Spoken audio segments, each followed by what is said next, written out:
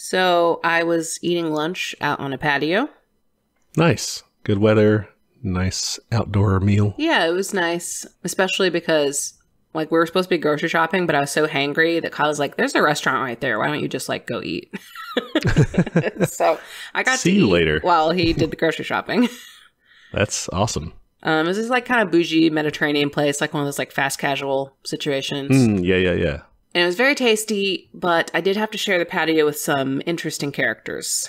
Ooh, okay.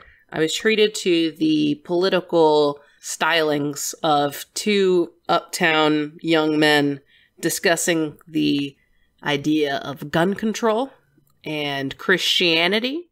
Gun control and Christianity, all right? Yeah, and, and basically the state of conservatism. They're talking a lot of shit about their friend. Ooh. Oh yeah, I love gossip. So even people I don't know, apparently, I'm I'm into it. Yeah. what was wrong with, you know, what was up with Chad? What was his problem? It was Sam actually. Mm, Shout out to Sam. If you if you live in Uptown with two annoying roommates, then that might be you. but apparently, he sounds like a freshman who you know just doesn't know what he's talking about, but still wants to pick fights with people. And Ooh. but the the kicker, the point where I like nearly spit out my freaking rice bowl, was they said, you know, some days he's like pretty conservative, but and some days it just sounds like he's a communist, and I'm like, Wow. well, I'm I don't think this guy's a communist because the what they had been talking about this guy was that this guy wants more gun control. Okay. So yeah, Yeah, he doesn't sound very communist in that regard. Yeah, I was like, I don't think you any of you all all three of you, including the one that's not here, I don't think any of you know what you're talking about. Oh. It's is fascinating. Good news from the local cadre there in Uptown. I wish we had a, a business card for our podcast because I just wanted to like leave it on the table as I left. Just like check it out. You guys if you want to get really this. mad. yeah, it was interesting for sure. I got to hear the phrase, "What about our missionaries in China?" Oh, yeah. Okay. Good. Yeah, we got to look out for for all that. You know, they throw people in jail for having Bibles there. Exactly. Yeah, they they talked a lot about the Bible and what it says about government control, and I was like, I didn't know it said that, but okay. You probably have read it, to be fair, and I haven't. So It's in, yeah. I mean, I'm kind of uneducated on the subject too, but people can derive anarchism from from reading Christian, you know, from reading the Bible. So there's there's something to be said. It is whatever you want to make of it. And yeah, that's the thing is, you know, people will just pay attention to different verses, you know. So Yeah, yeah. So yeah, that's that's the update from the front. We got a long way to go in converting the masses. Uh, yeah, yeah. Before we have people's revolutionary committees here in the Dallas Fort Worth area, well, we have a lot of work to do. So let's do it. we are going to be talking about Vietnam.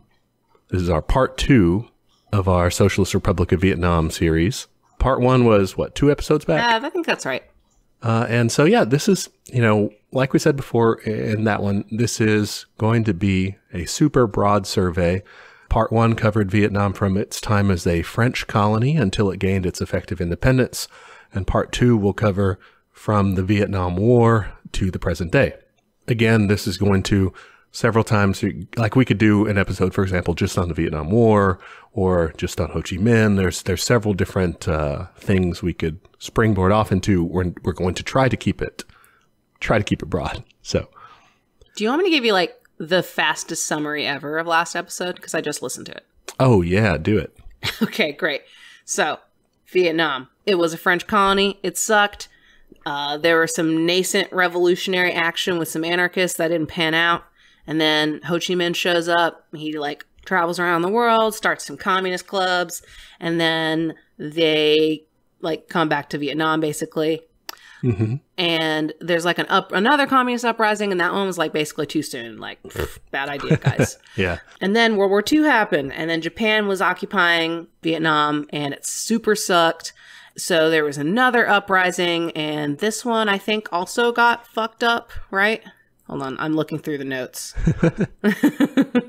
no, this one is when they started like the People's Army of Vietnam, and you had General Giap, and Um, so they like started up their army and like the, the United States was helping, which was weird. And then, Yeah. so they were fighting and then they're, they made Japan leave and they had like a conference and they're like, well, we're going to split up the country. And that's kind of where we are now, right? Well, then you have the French occupying afterward. Oh, remember? yeah. Okay. So after French Japan, part two. France comes back. Back and worse than ever. That horrible X is back. yeah. They're here to abuse you some more.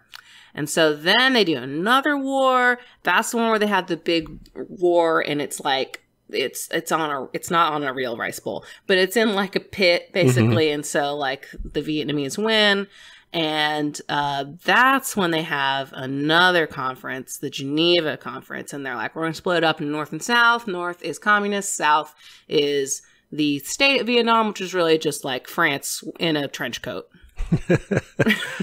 Uh, yeah, yeah. And by this point, you know, France is, is pulling out and kind of right on their heels. The Americans are coming in. The Americans had Yeah. already even been there. They had already, like you said, they were helping to fight against the Japanese. But then once the French are occupying again, the United States was helping France maintain that occupation. And so with the Geneva Conference splitting Vietnam into two, the Democratic Republic of Vietnam in the north and the state of Vietnam in the south, they say elections are going to be held in two years. Oh, yeah, yeah, yeah. Right. And the French are on their way out. The Americans are on their way in to help South Vietnam, the state of Vietnam. And so at that point, you have a 300 day window of free movement between the countries. That's ominous because it sounds like it's going to be not there in a minute. well, yeah, I guess. Right. Each side can say, nope, you're not leaving now, or whatever. Or no, you're not coming in. During this time, the CIA started a propaganda campaign, as they like to do, you know. Uh, and what they were trying to do was encourage Catholics to move from the north to the south. Oh, yeah, because Catholics were like anti communist there. Uh, yeah, this was mainly an attempt to kind of boost anti communist numbers in the South to help stabilize the regime there, like to get themselves some fans, basically. And also, they like knew there was an election coming up, so they needed more people to vote for them. To be honest, like if you look at it, that's not really going to change things because there's going to be an election in the North too, right? So, like, both, it doesn't matter where they are really, but what they were more Oh, concerned okay. with is some, you know, our government is unpopular. It might get overthrown before there even is an election. So, we need some fans quick. Okay, great. the so I thought this kind uh, campaign was kind of interesting. They use slogans like "Christ has gone south" and "The Virgin Mary has departed from the north." Okay, like that's great. Just like, yeah, saw him on the road, said hi. He said, "I'm out of there. Those communists, you know." Not my thing. yeah.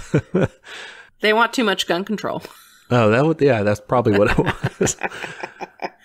A million Catholics end up migrating south. Uh, more than 100,000 people living in the south move to the north, expecting probably that they're going to be moving back soon after being trained as insurgents. This is kind of a clever move to kind of reinsert some sleeper agents back into the South. And I think that maybe CIA and like, you know, American Western sources kind of overplay this a little bit. But on the other hand, it is kind of clever. So I don't want to detract and say like, no, they weren't doing this. Like, this is kind of a smart move to train you some secret agents and then send them back. I don't think it was like on the scale that maybe America was reporting that it was, but Okay. And so, like we said, the U.S. is already starting to kind of step into the colonial role of France. What is the deal? Like, why are they doing that? Um, I mean, it's the domino theory, right? 100%. Yes, that's what I have Such a stupid written in my notes. Uh, good job. Yes, the domino theory. We don't want everybody becoming communists when they see, you know, some government fall to fall to communism. Fall. then, you know, they might get the crazy idea that they also want to plunge into the deep, dark, despairing world of communism. You know, Oh, you know how when people see bad ideas, they're like, "Let me do that, that sounds bad idea." great. Yeah. You know, if your friends jumped off a bridge, would you do it? If it the bridge is communism, you know, maybe. Maybe. but yeah, that's the stupid domino theory. Uh, God. Whereas I guess kind of the flip side of that is apparently whatever the communists are doing is pretty cool. Everyone wants to get on board with it. yeah, right. That is kind of what you're saying. there's also not just an ideological component to this, but there's a material an economic reason why the U.S. is doing this too. Uh, the more countries that go communist, the more countries join uh, the Comintern's trading bloc and everything, and they're they're mainly trading with the Soviet Union and China and its allies. The fewer trading partners or people they can exploit, the capitalists have. That's a great point because I, I think you do often see this, like the Cold War and stuff like that, set up as just a pure ideological war. Mm-hmm. When it's like, no, like, why do you think they they don't like this? It means if these people are in a communist society and no longer willing to be exploited for like resources, like that means your your stuff is going to get more expensive and like you're not going to get to use their cheap labor and all that shit. Mm-hmm. Yeah, they're not doing it for the, you know, oh, they're just so sad that the people there would be living under communism. Like, What about our missionaries in China? right? It's not. It's it's not at all for that. It's because it it boils down to material reasons, with an ideological superstructure, a veneer to it that can I, I think can influence people too. I mean, some people really were playing in this kind of headspace of good and evil, whatever. I, I think that's the message that was put towards the public, and like I'm sure a lot of people bought it. For sure. So we reach this time period uh, right after the Geneva Convention when both sides are kind of consolidating their power, uh, their power base in, in their respective North and South Vietnam. So in North Vietnam, this looks like rent reduction and land reform. I want to go to that one. Uh, so this is a huge undertaking. And what they end up doing is expropriating tons of land from landlords all throughout, even the rural village areas, and they're redistributing it to nearly 10 million peasants. It's a it's a big deal. You've got now 10 million peasants who are, you know, firmly supportive of this new government uh, and its ideology because I mean, You just got land. yeah, that's the whole reason they have land now. This is not universally like a peaceful process. I'm sure. It's actually quite a violent one. And they, you know, end up killing people. Uh, lots of them, and even to the extent where they go back later and say, we did, we had excesses. We targeted people we shouldn't have targeted, people who weren't wealthy landlord enough to really be targeted by this, and they died too. And they did aim to make restitution to people who were wrongly ex- accused or wrongly robbed of their lands or what have you. And like, Okay. sorry, you know. Uh, but overall, it was really consequential in terms of its scope and getting 10 million people land, showing people concretely what the party was for, not abstract notions of we want to do this and that, but hey, we're the guys who did this for you. Yeah, have some land. Yeah. And the organization that it takes to, to, to pull this off is like early training for uh, putting together, you know, tens of thousands of cadres of party operatives uh, having to be trained and go out to the peasantry and figure out who are the landlords, how do, you know, who do we need to take land from, who needs the land, all this sort of stuff. I mean, they are about to undergo like a major war right after a major war that they just fought. They need to, you know, build up their structure because they went from fighting one imperial power that was pretty powerful compared to them, but nothing compared to what they're about to fight. So did they kind of like know that was coming? No, they were fearful at this time that it was coming, maybe. They were worried that the US might come in and, and start pulling some shit. But it wasn't like, it wasn't on the table yet, really. Okay. But I think with any communist state, by that I mean a, a state run by a communist party that's, you know, trying to do socialism. Since the Russian Revolution, you you see the template is the world is against you as soon as you take power. Yeah, so you better shore up while you can. Yeah. hmm Uh, so, okay, that's what the North Vietnamese were doing. Let's take a look at what was going on in South Vietnam. So, in the state of Vietnam, the consolidation process looked like smashing their opponents, rigging elections, and doing reverse land reform.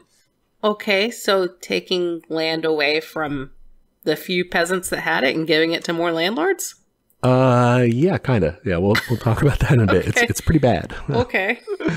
Uh, so down there, the prime minister of the state of Vietnam was Ngo Dinh Diem, uh, and Bao Dai, that former Yeah. emperor collaborator guy, was the head of state. This is really dumb, but I keep picturing Bao Dura from Star Wars.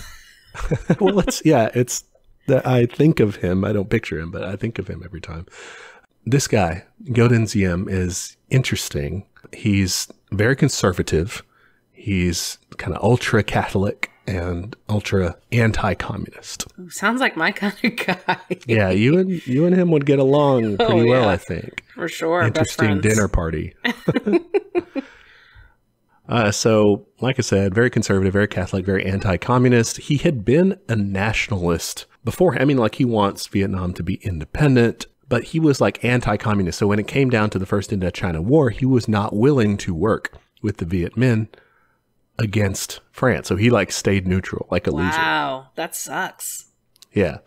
Uh, but I guess on the other hand, people still couldn't criticize him and be like he was actually pro French. Like he didn't help them at all. Uh, so he was, you know, seen as a very strident nationalist still. But I don't know, one that wasn't willing to like do what it took, you know? Yeah. Like, well, how nationalist are you if you're like, well, no, not that way? right. Yeah. And he's, he's su- eh, as nationalist as he was, he was that anti communist. Like he was obsessed. Yeah. Yeah. One of those is definitely more important to him. Yeah. and so he's the head of the government in the South, and he sets about getting rid of his opponents, in particular two religious groups, the Cao Dai and the Hoa Hao. And he also went after an organized crime group uh, called the Binh Xuyen. So are the religious groups not Catholic religious groups? I guess. Uh, no, they weren't. I'm realizing I don't know what like religious background like indigenous Vietnamese people would be. The majority were Buddhist. Oh, okay. Uh, Cao Dai is a kind of syncretic new religious movement officially established in 1926, which has kind of like, uh, you know, sees this one guy as like a prophet sort of thing. Uh, and then the Hoa Hao is like a su- sort of Buddhist flavored, uh, kind of kind of an offshoot, I guess, of, of Buddhism. Uh, but he, he didn't like these guys. If you find yourself attacking Buddhists, like, geez, Uh, yeah, well, he will. he okay, was really mean about that. geez. And so anybody who was talking shit about him, he was going after, including his best friends, the communists. In the summer of 1955, he launched the Denounce the Communists campaign. To the point. Straightforward. And so this saw the arrest, imprisonment, torture, and execution of suspected communists. So, you know, our podcast would not have gone over well there. No, I don't think so. I guess back then it would be a A radio uh, show. yeah, yeah. It's time for the Communist Radio Hour. Call in with your questions. oh shit! Here comes the government. Uh, this never happens. Welcome to the Catholic Radio Hour. We love Jesus here. The Virgin Mary is it's She's the Virgin Mary the Radio Hour. Yeah. The Southern Virgin Mary Hour. So, yeah, in August 1956, uh, he made any activity deemed communist punishable by death. Okay, so what was the scale here? Like, how many of these communists did he get? By November 1957, he had imprisoned more than 65,000 Holy mama! and killed more than 2,000. Wow. Okay, great. Yeah, not uh, not a nice guy. So within a year, basically, rounded up a whole bunch of opponents. But that was he, what he was about. Anybody who was opposed to him, locked him up. Uh, then in October 1955, the state of Vietnam had a referendum.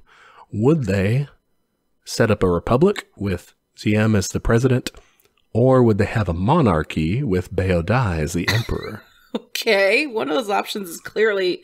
I don't know. Bao Dai didn't like. I guess he killed some communists. I'm sure.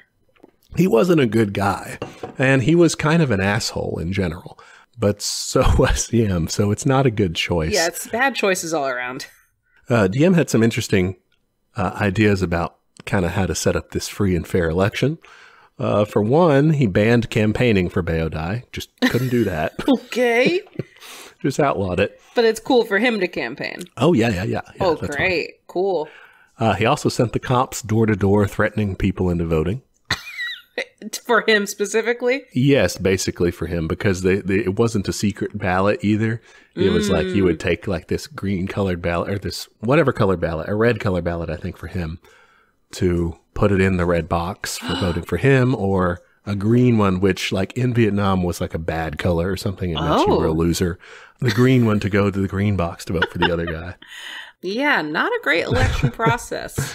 Uh, he launched some government funded parades with these giant floats of Bao Dai with bags of money on his shoulders and decks of cards in his hands and like with naked blonde women and bottles of cognac in his arms. Oh my god, that's so funny. You know, just portraying him as this like drunk gambling womanizer, which to be fair, Bao Dai kind of was. He spent tons of his time in France doing just that. Wow, okay. Uh, but anyway, this election goes really, really well for Diem. I mean, he kind of made it happen, but okay. Well, I mean, like, it also goes too well. His American advisors had told him, like, look, don't make this look too unrealistic, like 60, 70%, you know? But uh, he ended up getting 98.2% of the vote. Oh my gosh. Maybe he had a really good float. well, he, he did. It was so good, it materialized people to vote for him in Saigon.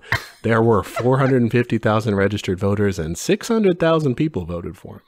Okay, got some ghosts voting.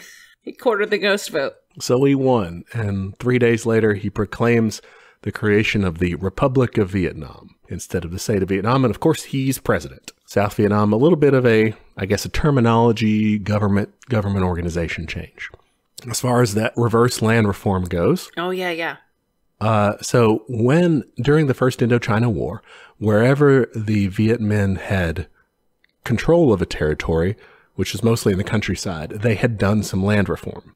So in 1957, the U.S. urged South Vietnam to do some land reform to get themselves some popularity do something to help the people so that they don't hate you so much. Okay, did they do that or did they just hear the first part and not the second part about helping people?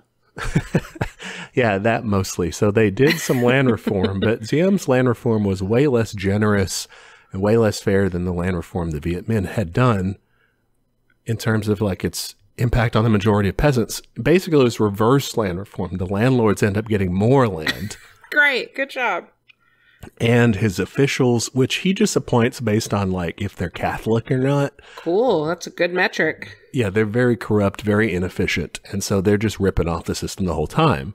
Uh, wow. Uh, it ends up with the opposite of its intended effect. People see the South Vietnamese government and their U.S. backers as being on the sides of landlords. So, so yeah, this, you know, the South Vietnamese government is helping out the landlords. This is going to make them less popular, right? Yeah. Uh, and make it easier for a future communist insurgency to kind of kick off a rebellion. All right, so that's kind of what each side was doing during that little window of time. But then they have the reunification election coming up, right? Yes, that's right. Well, the South said that there was no way that there could be a free and fair election in the North. Wow, that's rich. I thought that was interesting coming from them. Yeah. Uh, so they refused uh, to hold the election. They're like, no way, we're not doing that. Oh my gosh. Okay, cool. People argued about like different plans on how to monitor it ever, but the South was just like, no, we're just not doing it. So, wow, classy move. Yeah, it was, you know, maybe smart on their part because like they would have just straight lost. Like they weren't that popular where they were. Although the vote would have probably just been rigged in their favor there. They had fewer people than lived in the North, so they could just make up some ghosts. True. Yeah. All of a sudden, their population is four million more. I don't happen. Everyone had a baby, and the babies grew up really fast and learned to vote. You know those Catholics. That's true. uh, so okay, no elections. Fine. In the South, there is a rising insurgency campaign that starts because of the shitty governance going on, right? Yeah. I mean, if you're giving land, imagine if like you're already paying rent to your landlord and you find out they got another building for free from the government. Like, from yeah, from your friend that was taken from your, you know, like they took it away from your buddy from work. Yeah. Oh my gosh. Yeah. Fucked up. And this insurgency campaign has domestic origins. So one of the big things that we're sold in the United States. And one of the big things we're trying to do with this episode is kind of break down myths that Americans and other capitalists, other people in capitalist countries are given. One of the things we're told is like the Vietnam War is the North Vietnamese trying to take over the South. And like within the South, you know, they're all against the communists. And it's, you know, anybody in the South that's like sympathizing with the communists, they're like puppets of North Vietnam or whatever, which is not true. There is a lot of coordination with the North Vietnamese, with, with the Democratic Republic of Vietnam in terms of operations in the South. But this rebellion we're talking about that starts kind of in the countryside is also genuinely a response to how bad the government is in the South. Yeah, I mean, understandably so. They sound like they're not doing a great job. Yeah, yeah, for sure. So, yeah, people were suffering. They wanted change. The insurgency that starts in the late 1950s to the 60s is bloody. All right, it's it's. I mean, it's it's really violent, really cruel, real terrible. Uh, the insurgents against the South Vietnamese government, they do an assassination campaign. Whoa, okay. They start killing government officials, anybody working with the U.S. occupiers, any of that, and abducting people too. They abduct hundreds of people as well. Oh, that sucks. I mean, they they also got abducted, so like, yeah. It is, you know, it is shitty. They would argue they had they were doing what they had to do, and this could be debated. In December 1960, the insurgency gets a little more official when they create the National Liberation Front of South Vietnam. All right, this is called, also, we'll just refer to this as the NLF. It is most commonly known to Americans as the Viet Cong. Yeah, okay, I've heard of that. I found that that is a contraction of the Vietnamese for either Vietnamese communist or communist traitor to Vietnam. okay, that's that's a bit of a loaded term then. Yeah, so so as such, yeah, I I think I'm going to go with the more official term of NLF as much as I can remember to do so. Yeah, that's a good call. Wow. Okay. Uh, but just so you, so the audience knows, if, you know, most of the time you'll see Viet Cong. So when we're talking about the NLF, that's who we're talking about. Okay. Cool. The NLF is a broad, united front against the South Vietnamese government, uh, which it called in its kind of announcement of, hey, we formed, here's what we're about. Uh, it calls the South Vietnamese government a disguised colonial regime of the imperialists. I mean, where's the lie? Yeah. Uh, looks like it. Yeah, I mean, they're getting advice from the United States on how to rig their elections. So, like, not great. yeah, the CIA's doing PR for them. Like, they basically like have an office set up there and are running shit. Mm-hmm. Yeah. So uh, they also set up set up an armed wing called the Liberation Army of South Vietnam. The NLF's like the political organization, and they have their own like kind of army or militia called the Liberation Army of South Vietnam. Uh, that mostly does guerrilla warfare, insurgency, especially early on in the war. Later on, they'll go to more of a conventional warfare style thing. But right now, we're still even gearing up for war, really. So it's still kind of an insurgency sort of thing. Earlier, you were talking about whenever the borders were still open. I, I'm assuming they're closed now. Yes. Okay. So whenever they were still open, though, you were talking about North Vietnam sending people to South Vietnam. Were some of them in this NLF? Yes, for sure. Uh, the NLF's leadership um, was kind of shadowy. They they rotated positions a lot and didn't really publicize that so much. Probably a good call.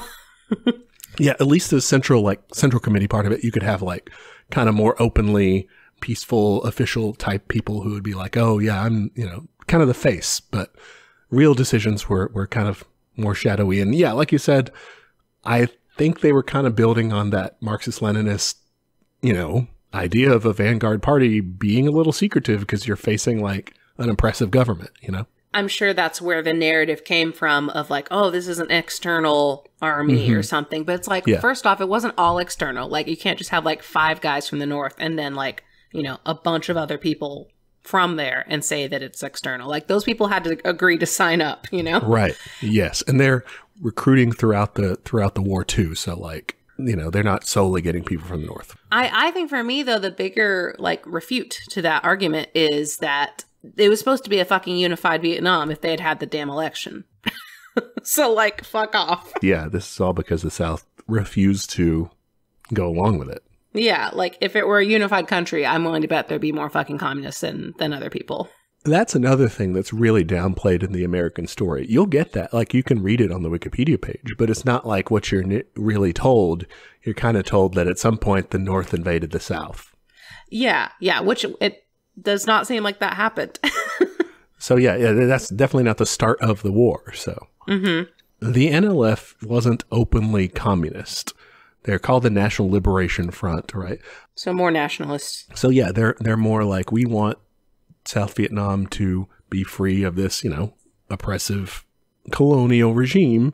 Uh, their leadership is communists, but again, it's kind of secretive, and they're they're working, they're collaborating with uh, with the North, with the DRV, but overall, they're working with anybody who's against the South Vietnamese government.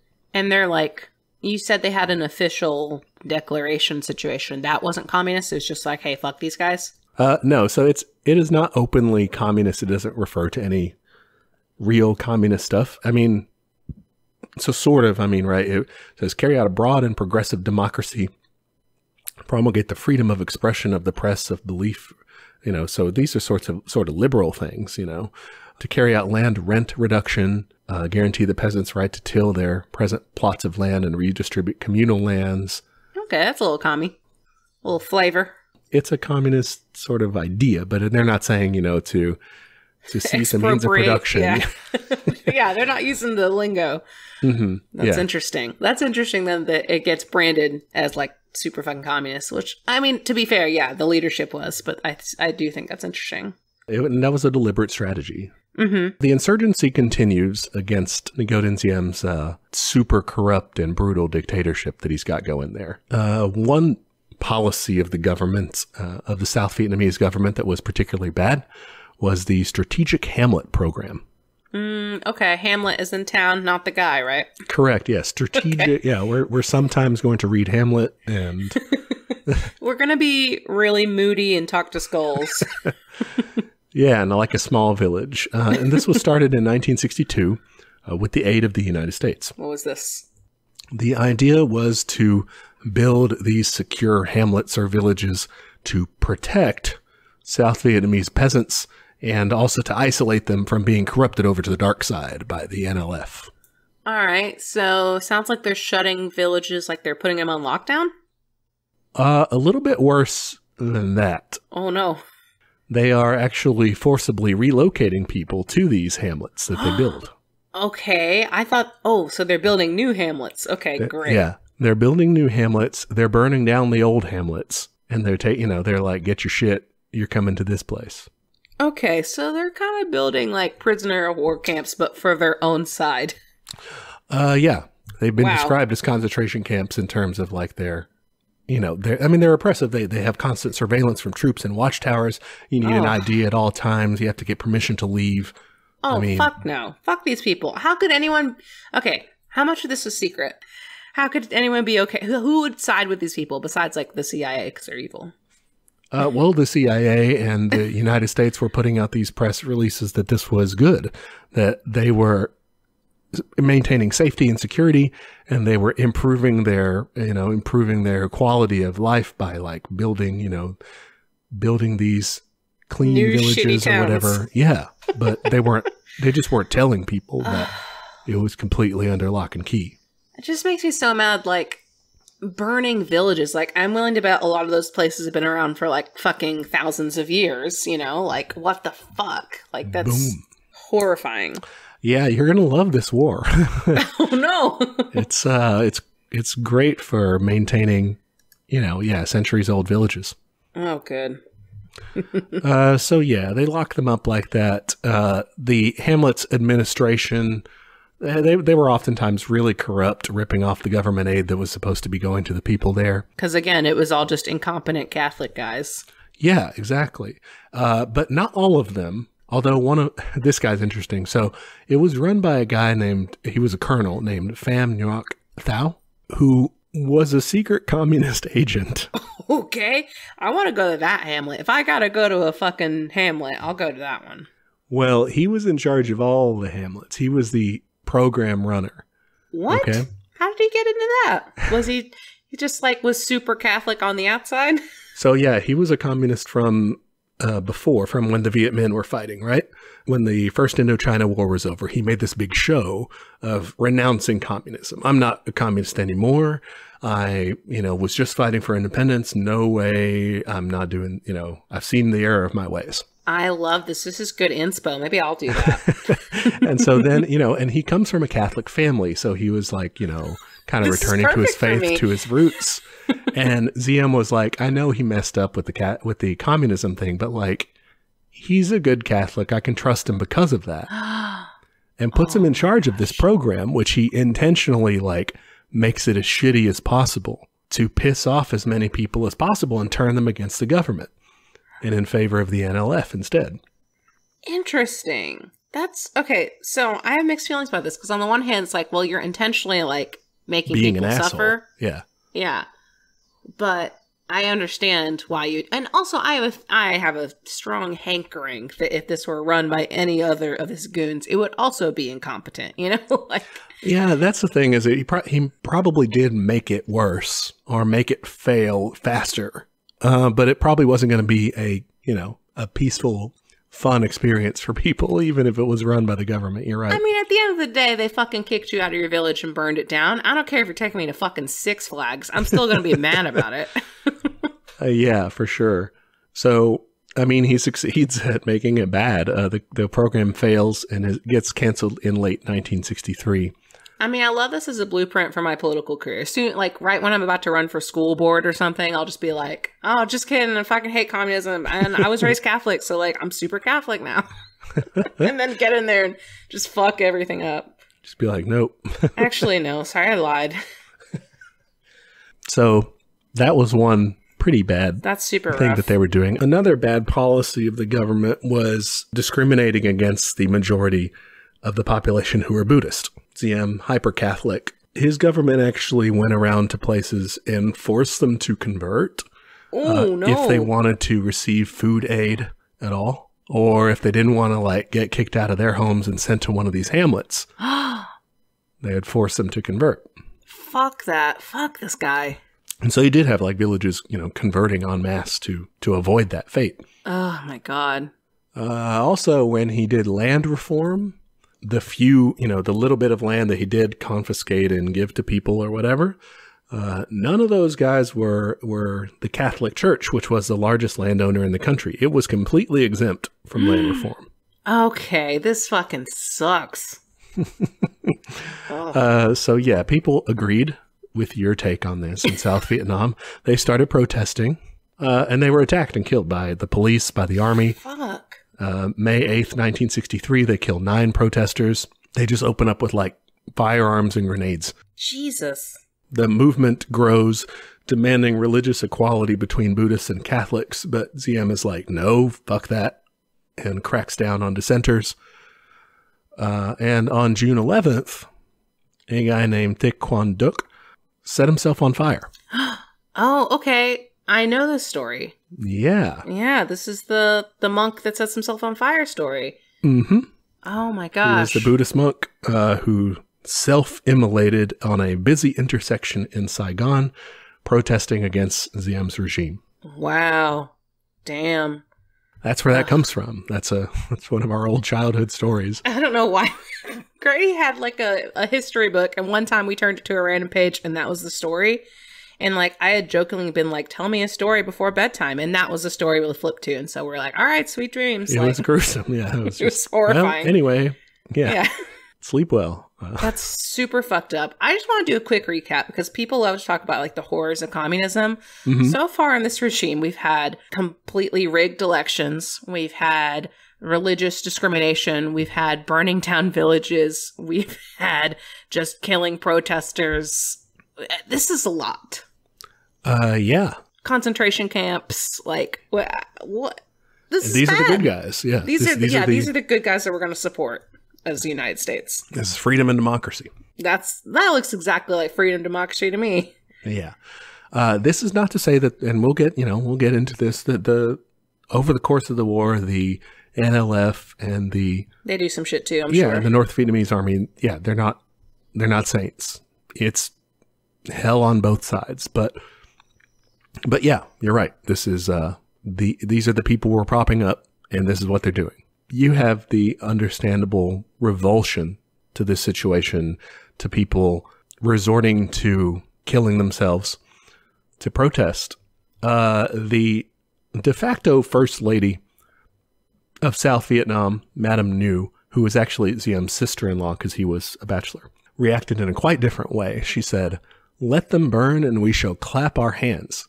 If the Buddhists wish to have another barbecue, I will be glad to supply the gasoline and a match. Holy shit. Fuck that lady. Yeah. Oh my god. Uh, I found that particularly monstrous. Yeah, what the fuck? So eventually people eventually people had enough of Diem. And I even, think I have. gonna get in my time machine, go fuck some people up. uh, well, don't worry, that's what they're going to do. Great. Uh, even people in the government, you know, wanted him gone. He was fucking stuff up like we've just seen with these programs, but also militarily. As the, the South Vietnamese army was called the Army of the Republic of Vietnam. The abbreviation for that is ARVN, like A-R-V-N. ARVN and the Chipmunks. Yes, yeah. But monks is spelled M O N K S because they're Catholic. oh, wow. It's pretty good. Thank you. Uh, they were getting their ass kicked by the NLF at that time. Well, like, just they're just monks. complete mismanagement at all levels, basically. And so the generals were just saying, this is Diem's fault. Uh, they get to talking about doing a coup against him in late 1963. And the CIA gets on the phone and tells uh, the generals, you know, like, I don't know. That's we're not saying to do it, but that like that's not a bad idea. Uh, we wouldn't like cut off aid for you or anything like that if you happen to like do that. Oh my Just god! Saying. like I don't have any experience doing this. I I wouldn't know. But if you did it, here's how. yeah, and just so you know, we won't be upset if you do Yeah. that. Like Hypothetically, of course. they give them the green light. Uh, Oh. November second, nineteen sixty three, they overthrow Diem and they execute him and his brother and put in a military junta. His brother was executed because he was his closest advisor. It's not like he was just chilling at the house. He was he was involved in all this. Well, and he also had that shit wife, so like he deserves to die for her alone. Fair enough. So, well, you know, maybe he didn't, but he he was an asshole too. I don't want to Okay, yeah. apologize for him. I don't care. Uh, the thing with this is sometimes people play it up like like President Kennedy at the time was super shocked by this, and he makes a kind of a, a play at that. But then he later on sends a telegram basically saying like, "Hey, good job handling this," sort of thing. So I'm pretty sure, and and historians debate, but I'm pretty sure that he at least tacitly knew about it, or if not, gave the green light. You know, but that's not proven. But didn't he have a contentious relationship with the CIA? Did he already have that by this point? Uh, by this point, yes, yeah, he had def- he definitely already had a So they might not have been telling him everything, or just telling him later, and he had to like cover his shit. I'm not to be a Kennedy apologist or something. No, that's it's possible. It's possible. Um, he may have just been like playing along, like, "Well, shit, it happened. Uh, good job." Yeah, yeah, yeah. So- that makes sense. But we'll we'll kind of get into America's involvement here. I guess it, it's real hands on because they're already at this point they're already involved yeah since the French left. But uh, yeah, let's get into the meat of this rising conflict. Okay, wartime. Yeah, this is known in America as the Vietnam War. Uh, sometimes it's also known as the Second Indochina War. If you're like an old person who remembers the first one, you're like, oh, this again. Yeah. And in Vietnam, it's called the Resistance War Against America. I feel like I fight that every day. Not at this scale, at least. No, no, no. Uh, I guess it's interesting because we've already been kind of talking about the lead up to it. And like we said, America has already had an involvement there, and there's already a counterinsurgency going. So people, I guess historians kind of have different lines to draw as far as when it starts. And we'll talk about that too. But so, like any military history, we're just going to hit, you know, the low lights, I guess. We're just going to hit Not the key turning bag. points. Yeah. the major events and stuff. You can find some white guy who like is really into that. I'm sure there's a podcast like this is the war podcast. Oh yeah, there's got to be a multi-part or like three-hour-long YouTube thing on it for sure. I'm sure. Honestly, it's worthy of it. Like we could do an entire episode on the Vietnam War because, and from our point of view, there's enough of it, not just military history stuff, but enough like enough of the conflict between, like you were saying, this is what capitalism is actually doing. This is what freedom and democracy looks like to them, and we can we could really get into that. Yeah, yeah, for sure. And we should, for sure. But yeah, you, you're right. We're we're not we're not going to cover all that today. Yeah, and we're not going to get heavy into military stuff like we never do. Right. So. Yep. Yeah. It's just not our thing.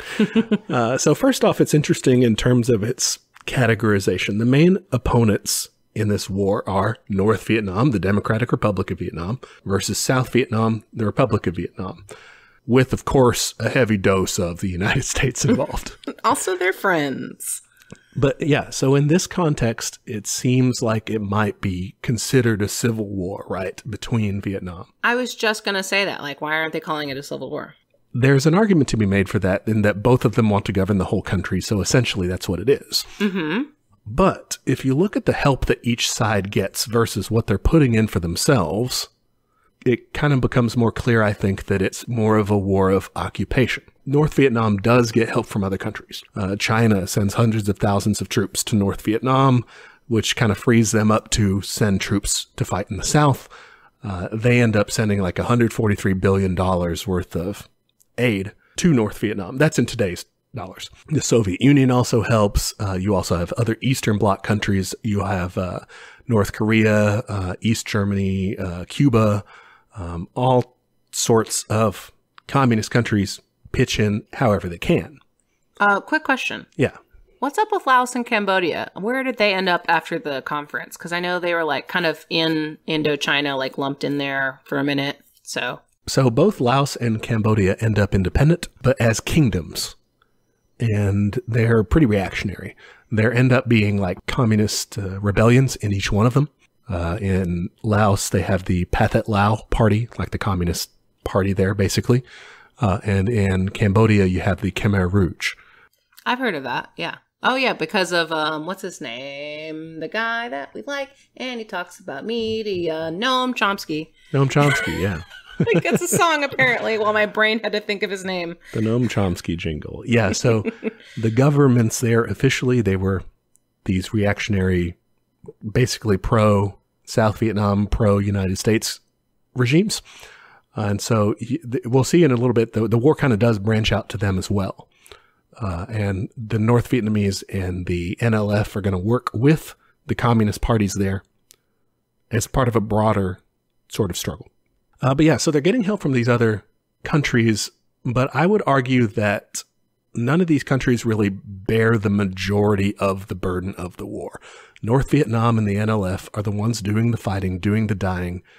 They're taking advantage of these material resources, but they're also pumping in their own. And I think that they're the ones who take the lion's share of the sacrifice and ultimately the victory in the end.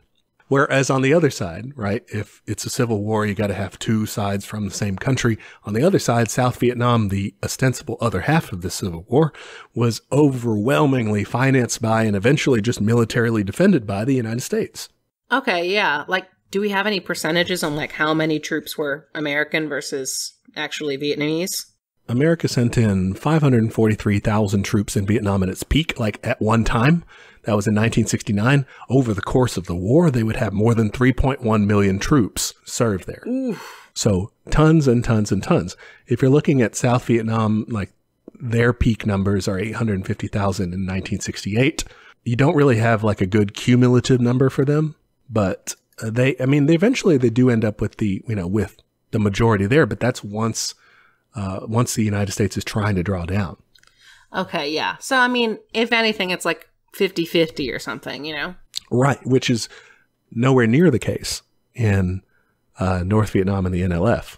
This is kind of a stupid question. Yeah. Does this happen a lot in civil wars? like, I don't remember reading anything about foreign intervention in like the American Civil War. No, and certainly not in Not to this extent. not to yeah, not to that extent. Like when we talk about the Spanish Civil War, they did have foreign involvement, but the majority of people fighting in that were Spanish on both sides. You know, I mean, even, you know, sure, yeah, the fascists, they had the Condor Legion and stuff. They had assholes helping them, but even so, the fascists were still, for the most part, in Spain. You know, I mean, Yeah, I think that's an important distinction because, yeah, you could absolutely be like, yeah, somebody's fighting for their freedom. It's like, who? Who's actually doing it? One in this case, I think one side would just not exist if it weren't for mm-hmm. foreign intervention, and that's I think the big distinction. The U.S. puts in around 1.4 trillion dollars of today's dollars into the country over the course of the war. They, I mean, when we'll see when they leave, that South Vietnam just fucking collapses. Like that, it's a very, it's it's a Potemkin, you know, it, it's a facade, I guess. There were, I don't want to say there were no people supporting it, but it's just not enough. I mean, it's not enough to hold its own. Yeah, yeah. Numbers wise, it just does not add up. Yeah. So that's why I would argue against the Civil War and more as a occupation war. All right, so let's hit that low light reel. Okay, what happened in this war? All right, so the overall trend from the American perspective, you can see this as a bipartisan failure. You have lots of presidents overseeing America's escalating involvement in Vietnam. I mean, it, it's it lasts. Uh, advisors are first on the ground in 1955. You know, basically right after when the French leave. yes, yes, I remember. And even before that, didn't you have like some OSS people, like baby CIA? Well, you had OSS before against the Japanese, and then you had CIA people helping the French actually flying planes during the Battle Oh, of yeah, Dien Bien right, Phu. right.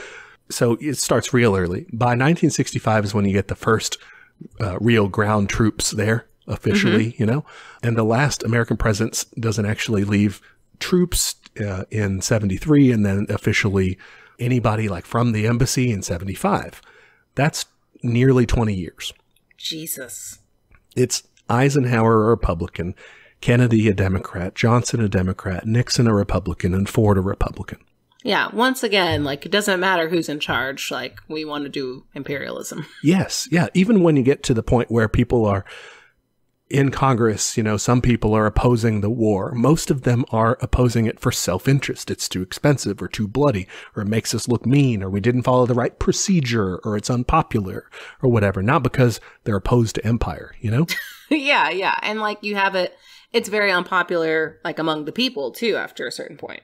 Yeah. So I guess overall, we're going to see a trend of escalation, very, very gradual in the early years through Eisenhower and Kennedy, then a huge escalation under Lyndon Johnson, and then a a kind of two-faced like, oh, we're going to draw back, but we're actually not sort of thing from Nixon at first before he finally draws all the way down, and then Ford is just in charge of like getting out. That's the overall pattern. Let's get into the details. 1959, you have the beginning of the Ho Chi Minh Trail. All right, what's that?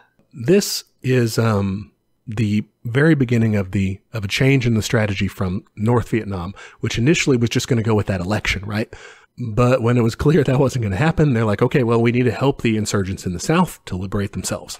So in January 1959, they approve of a people's war on the South. We're going to help them get free of that bullshit stuff down there. And so they start setting up the Ho Chi Minh Trail, which is this super complex transportation network from the north through Laos and Cambodia into South Vietnam. So like it goes around the border and then into South Vietnam. Ooh, I want to Google it. There's a picture on the Wikipedia page. Oh wow, yeah, that is that is a convoluted route. Yes. Yeah. it starts out as this series of footpaths and just, I mean, it's really, it it's like a six month journey to traverse it. And you're going through really difficult terrain on foot, on bicycle, on boat. It's rough. But over the course of the war, they eventually developed this into a fully paved road, like a four lane highway all the way down, basically. Oh my gosh, okay. So this is just to get like troops and supplies down to the south. hmm Yeah, they set up a brigade that is in charge of like building this whole thing. It's this massive. It's I don't know. It's it's it's really impressive that they're able to build this and, and disguise it because they are also getting bombed nearly the whole time that they're trying to do that. Yeah. So at this point, were the Americans involved yet? Uh, the Americans at this point have advisors, Okay, but no troops yet. no troops yet. Although the advisors are like right there with the army, and you know they probably pick up a gun now and then. All right. So next up, we have Kennedy's escalation in 1960 and 1963.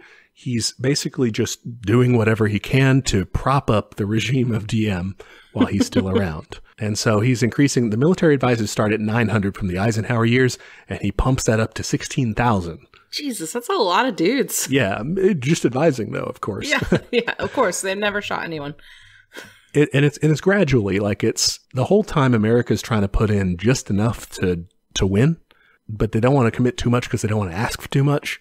You know, because the whole thing's pseudo off the books, Oh, okay. out of public. Especially at this stage with the advisor, it's mostly out of public sight. Like really, only like the intelligentsia, the, the columnists are talking about it, Everyone else is kind of like, uh, no one's being drafted for it yet. He's, you know, and this is this is why he's he's putting in advisors, backing up that strategic Hamlet program, and ultimately, it's why he ends up betraying Diem and letting him get cooed is because he wants to do whatever it takes to keep the government going, even if it's not with that guy eventually. Okay, I just do want to reiterate we did fund concentration camps. Good job, America. Oh, yeah, yeah, yeah, totally. And Kennedy, you know, he gets this pass, I think, from liberals. They like to paint him as like this peace loving guy, you know, but he was totally a Cold Warrior. I mean, he was in it, he was totally anti communist. It's while he's president that Allen Dulles in the CIA. Mm, I hate that guy. he's like, we should just put like a no sign Allen Dulles face, like as New a shirt. T-shirt. uh, or wanted, dead or alive, or something. I don't know. I don't know if you can put bounties out out for dead people, ironically, but you can piss on their grave. yeah, he was doing this secret operation called Operation 34A, and it was this series of covert actions like recon missions and inserting like secret ops people and and naval sabotage against North Vietnam. This is going back to the Eisenhower years, but Kennedy was still letting that go. He knew about that. So when we say we only had advisors in there, we definitely had other people in Well, there. yeah, and we were pulling shit. We were doing active, we were taking active measures against North Vietnamese government, who we were theoretically not at war with. Great, cool. All right, so next, uh, Kennedy gets assassinated November 22nd, 1963. Whoops. Lots of mysterious shit that we're not going to get into, but it ends up making Lyndon Johnson president. And he's definitely a war hawk, more outwardly so than Kennedy, who kind of has to put on this. He's sort of Obama esque in that sort of like, I'm very Yeah. disciplined, you know, I really don't want to do this. I'll look But really sad when I'm, yeah. I'll look really sad when I'm bombing those people, but yeah. God. Uh, and and Lyndon Johnson doesn't have that so much of that restraint. But I mean, again, Kennedy was escalating the whole time, so let's not pretend that he was going to, you know, world peace it. And it's when Johnson is president for not that long uh, that we have the Gulf of Tonkin incident. All right, I feel like I've heard of this. I don't know what happened, but it sounds familiar. Yeah, this is what officially starts America's like troop involvement. On the books involvement. Right. Yeah. It's uh, August 1st, 1964 that commandos with that secret operation we talked about, they did a raid against a North Vietnamese radio transmitter. Okay, it's like a like a tower. Yeah, it was it was like a like a buoy out in the water actually. And so they go and they go and attack that. And this had been going on covertly for a while like we said all those missions, you know. Uh, so North Vietnam sends out some patrol boats armed with torpedoes to intercept this ship that's hanging around in the area, the USS Maddox. And it was hanging around in the area not for a nice little sightseeing cruise, uh, but to spy on radio communications in the area.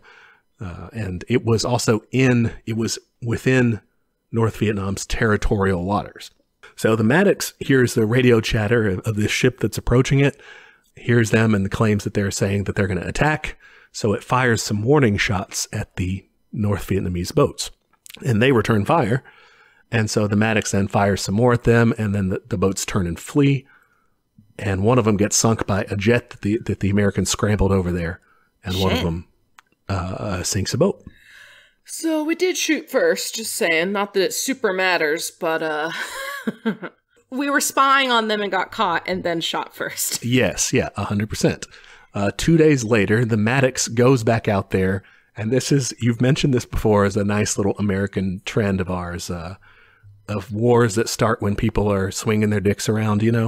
yes, yes. The the you disrespected me war. yes, we went back out there in order to, quote, show the flag, basically to say that they weren't scared after what happened. Oh my god. We're still here. We're not afraid, you know? it's fucking idiots. Yeah. So they go out there, and this is what's great. They don't even encounter anything, but there's this really rough weather, and they misread their signals. They ba- like their radio signals and shit like that, and they basically Uh-huh. get jumpy, and they think that there's another attack by these torpedo boats that are coming in, and so they just start shooting. okay, so they got there being like, I'm not scared, and then And like, then wait, I'm actually scared. very scared. Yes. idiots, I love it. they radio back in and they're like, "Yeah, we sunk these two these these two DRV boats. You know, they're they're down. You know, we we got them. We got the bogies. There's no wreckage ever found. No bodies recovered. No evidence that any boats were ever there. So they just shot at like some rocks or something. No idea. They just shot. They got like fucking scared. And but this was enough when this was radioed back in and they brought it Mr. President. it was enough for him to run to the TV cameras, emergency interrupt your broadcast to tell you that American ships had been attacked unprovoked on the high seas and we just had to respond immediately. Sorry, what? Yeah. We got attacked by ghosts, so we're gonna start a war. Well, the first attack, remember, did technically happen, although it wasn't unprovoked and it wasn't in international waters. but details, Wow. details. Yeah, don't worry about that. So he says we've got to respond immediately. And three days later, mm. responding to his request, Congress passed the Gulf of Tonkin resolution, authorizing President Johnson to do military operations in Southeast Asia, quote, to take all necessary steps, basically to do whatever he wanted, all without a declaration of war. Okay, yeah, wait, I mm. So is this first time we do that shit? I mean, we've done like shady shit. Korea was also a police action. What the fuck is that? It's just an undeclared war. We haven't declared war since World War II. Okay. Yeah, I was gonna say we don't do that anymore. Yeah, nowadays there's the authorization for the use of military force, AUMF, which that's what they use for the war on terror, uh, which is why they can just do that everywhere. Do whatever the much. fuck they want. Mhm. Cool, cool. The great thing about this Gulf of Tonkin resolution, aside from it just being built on a lie, right, Yeah. is that uh, Lyndon Johnson had actually already launched a bombing campaign called Operation Pierce Arrow before Congress passed their thing. He just kind of assumed they would pass it. Right, yeah. Uh, and this is the beginning of the American bombing campaign of Vietnam, which over the course of the war will drop nearly four times the tonnage of bombs as the U.S. dropped during the entirety of World War II. Holy shit. Yeah. That's a lot of bombs. It is. So basically, yeah, the U.S. gets its authorization for invading Vietnam with ground troops based on bullshit. Oh my god, that's insane. Like, I want that to be like an unsolved mysteries episode of like, where are the ghosts of the Gulf of Tonkin? Who shot that noise? it's crazy. Uh, apparently, Johnson even admitted privately later on, he said, For all I know, our Navy was shooting at whales out there. That's really bad. Oh, whale shooting. Also not great, but well, yeah. What would the what the fuck? Yeah. But okay, so that's how it started, and uh, yeah, a year later, uh, U.S. troops will land uh, in 19, this is 1965 in Da Nang. They'll be the first troops of many to start showing up. what happens next? So right around this time, you also have the launching of something called the Phoenix program. All right, cool name. I bet I won't like it. It's not cool because it's a program run by the CIA. I definitely don't like it. Tell me more. All right, you thought that was bad? Uh, it is designed to identify and quote unquote neutralize the NLF and anyone who sympathized with them. Okay, great. So we're gonna go do some murders. Uh, yeah, yeah, yeah. We're going to do some infiltration of their party and their whole organization, kidnappings, torture, and assassinations. okay. Over the course of its reign of terror, it neutralized. And with that, this is actually a broad, it's not necessarily killing. All right, but it targeted and, and did something to 81,000 people, more than that actually, uh, who were suspected of being NLF members and killed more than 26,000 of them. Oof. Okay. So, sorry, neutralize made it sound like they went up to them. They're like, "You want to change your mind about communism?" They're like, "Yeah, I'm neutral now."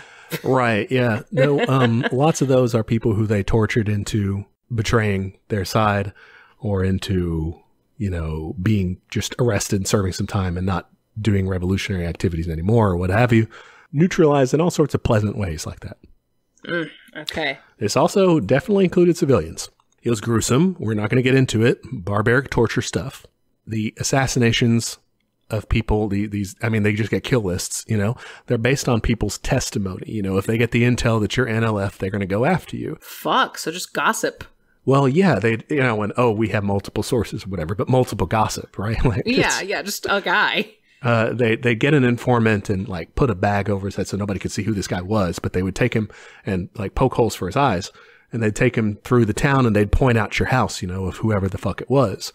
Uh, so, but that way they you know couldn't retaliate against this guy or whatever. And then they'd bust in that night and kill whoever was there, assuming that it's the target. I mean, including the family members, whoever they, they were wiping out that house. Okay. Yeah. Now this is a moment where you start putting out your Catholic saint statues in your yard. Be like, nah, man. I, I, see, look, it's Saint Francis. I, I'm not communist. Yeah. uh, this is a gruesome program. It is pretty effective. I mean, it does like really take out a lot of NLF people. Um, it's eventually shut down in 1972 once people kind of find out about it. There's this big congressional hearing and stuff, and they're like, "Whoa, America's running this horrible, a horrible campaign." Imagine that. That's never happened before. Yeah, so they shut it down and actually instead secretly continued it under the direction of the South Vietnamese government under the name Plan F6. Okay, so they just transferred operations. Yeah, in 1972, they were just like, "It's your problem now. You do it." And there Yeah. you Here's how to do it. I wrote the book on it. yes. Jesus. Uh, yeah. So that's the Phoenix program. It's a lovely little bit of work. That was throughout the course of the war, 1964 to 1972. Uh, next up, we're moving from the Gulf of Tonkin, right, and and American troops are be, first being put in, and now we're going to start kind of talking about the war of attrition phase. All right, what's that? So, the U.S. strategy here by General William Westmoreland, uh, who predicted that America was going to win this war by 1967, Whoops. uh, basically, he was going to win this war of attrition. They're going to wear down gradually the NLF and the North Vietnamese army. Uh, and they're just, you know, they're going to go out there and kill them. And that's it. They're going to win eventually. How hard could it be? uh, the the whole killing the enemy thing, the the, the strategy here was going to be accomplished by search and destroy missions. Okay. The idea here is you take your troops, put them in a helicopter, go take go to hostile territory, find some enemies, kill them, and leave.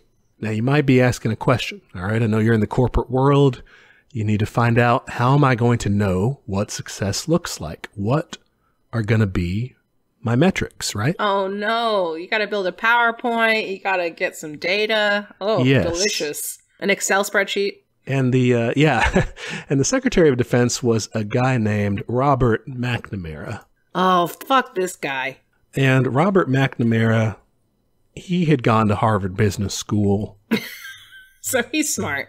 Yeah, he had been, um, you know, president of Ford Motor Company, so he knew about, you know, making making sure that this was efficient. So he came up with a metric to figure out what will success look like, and it was called the body count. Is that as straightforward as it sounds? It really is. Yeah, you count the enemy dead, and you'll know when you're winning when the numbers are high enough.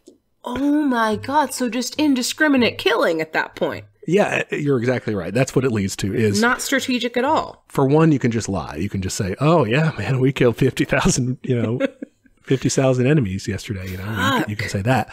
For another thing, you can get indiscriminate with it, like you said, cut corners to get the numbers. Yeah, because if you're just going like on a helicopter in a in a country you're not familiar with, I'm betting, and you're just gonna go find a random village and be like, "Well, it's in the North Vietnam, so like we did it." Like that's not a strategic victory in any way. It's also just a horrible thing to do. Yeah, that's they they do a a very grim joke about this in the movie Full Metal Jacket, uh, which is about I mean it's a fictional portrayal or whatever, but it's about Vietnam. It's set there, and you've got this helicopter machine gunner that's just gunning people down out of the like in fields and stuff, you know, out of the out of the helicopter, and like yeah yeah you know cheering himself on. He tells this new recruit guy, he says anyone who runs is a VC Viet Cong, right? And anyone who stands still is a well disciplined VC. oh my god. And uh, what he's talking about there is not entirely fictional because this is basically what you would call a free fire zone. And this is where, uh, you know, U.S. military command, they designate an area uh, where they say, you know, we've, we've secured this place. There are, there are no friendlies here. We've removed them. Nothing good is here. Any un- unidentified people should be considered enemy combatants and shot on sight. Oh my god. And so that will get you your body count numbers because everybody you're killing there is an insurgent.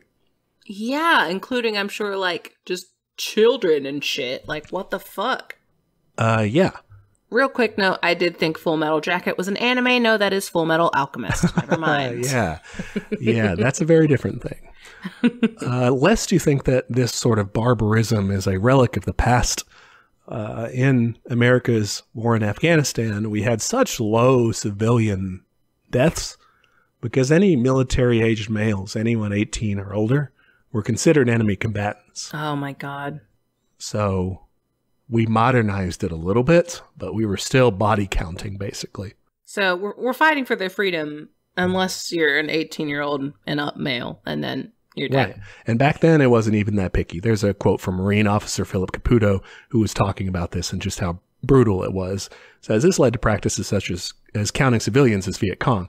If it's dead in Vietnamese, it's VC. You know, that was our rule of thumb, basically. Wow. That's Yeah. fucked up. Pretty bad system, right? The body count system. Yeah, bad both like in terms of effectiveness and morals. Yeah, yeah. But it was supposed to be working. Uh, and that's what the generals were saying. That's what the president would go out and say on TV. Well, if you're making your own metrics, then you, you can say whatever the fuck you want. if you determine what success is. Yeah, so this phase of the war, 1965 to 1968, you're looking at President Lyndon Johnson going out there on TV and saying, We're winning, you know, and he'd have his generals come out there. They'd say, We're winning. We see there's light at the end of the tunnel.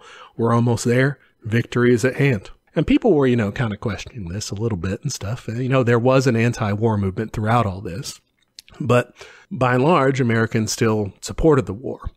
Uh, this is until January of 1968, uh, when the NLF and the People's Army of Vietnam, so the North Vietnamese Army, launched the Tet Offensive, which was this massive attack on ARVN and American forces throughout South Vietnam. Most towns, most villages throughout South Vietnam were hit. Basically, the goal here for North Vietnam was to trigger a popular uprising, basically, uh, and the collapse of the South Vietnamese government. Which like probably wouldn't be hard to do. Well, that's what they thought. They figured that this would this would just topple everything. You know, it's and it's called the Tet Offensive because it was launched during the Lunar New Year Festival of Vietnam, uh, Tet Nguyen Dan. Oh, I've heard of that. Yeah. And basically, the idea was that most ARVN soldiers would be on leave, and so get, you're kind of catching them on their heels. You know, Oh shit. Okay. it lasted from January 31st to March 28th, and then it had a couple more phases later on, lasting till September. Overall, how the Tet Offensive worked, the surprise part, it did. It, it caught people by surprise. Uh, they were able to really inflict a lot of casualties on ARVN and, and American forces. Uh, but the United States and South Vietnamese, they were able to rally a defense. They drove back the NLF and the North Vietnamese forces, and they really inflicted disastrous casualties on them. I mean, it was really bad. Okay. Uh, some 45,000 killed and 60,000 wounded. The communists, if you're looking at this from just a military standpoint, just tactically, what, you know, what did the Tet offensive look like for them? I mean, it was devastating. So who were they? They were attacking the army still because you just said you said that they attacked the towns. So like, I guess I was just like, are they like raiding towns and shit, or like, what's the deal? The towns were occupied, you know, I mean, they, they had military garrisons there, so they were basically besieging the towns. Okay. even driving into like close to the American embassy in Saigon and stuff. Like they were, it was close. You know, they, So they they're were they're still doing like military targets just within a town. right. Yes, Okay. I mean it's it's pretty disastrous for them in terms of people lost. They put like every you know s- so much of what they had into this, and we're really turned back. The popular uprising did not happen. The South Vietnamese government remained in place. The American occupation was still there. I mean, it is a loss. Yeah, absolutely. But strategically, big picture wise, it does end up really, really, really paying off in terms of the political scene. How so? Well, remember what the warmonger leaders in America have been telling people we've got the enemy on the ropes. We're about to win. Oh shit. Just be patient. It's a little bit longer and we'll be victorious. We've killed however many hundreds of thousands of these guys. There are barely any of them left. We're almost done. And then they launched this huge attack with like the people you said were dead, like Yes. those guys are attacking you. Uh huh. Whoops. It's they're just exposed. I mean, they were lying, and people are pissed. Uh, they've been told one thing, and all of a sudden, how did they mount this attack? Like you call this winning? What the heck? And they're Oh seeing this on the nightly news, day after day. I mean, that's months, January thirty first through March 20, 28th. Yeah, that is a long time. and they are just seeing carnage, you know, from an enemy that was supposed to be near defeat. So you have a huge swing in American support for the war. Even Walter Cronkite, the anchor for CBS, like the most trusted man in America sort of thing, mm-hmm. he gets on TV on a broadcast and says that we, you know, America was mired in a stalemate and had to negotiate some sort of a, you know, a peaceful end to the war, you know. Wow. Can you imagine a news anchor, like any news anchor doing that today? That's yeah, it's crazy. that would be insane. Lyndon Johnson famously is said to have remarked, you know, if I've lost Cronkite, I've lost America or something like that. Yeah, yeah. General Westmoreland, uh, the American general, tried to ask for 200,000 more troops to fix the problem. And LBJ is just like, what, what the fuck? Like, no, you can't, like, everyone is pissed. Happening? And that's, how is that going to help? Yeah. General Westmore troops, more like it. I'm sure a, a political cartoonist did that sometime. I'm right? sure. I'm sure.